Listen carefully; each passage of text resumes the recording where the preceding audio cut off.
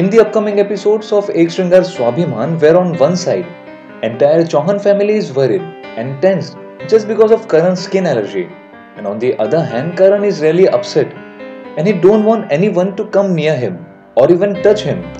He don't want people to feel pity on him. Karan is not even allowing Naina to come closer to him. But Naina is trying her level best to help and cure Karan anyhow. But still Karan not allowing her to come near to him. So, how will Karan's allergy cure? What will happen next?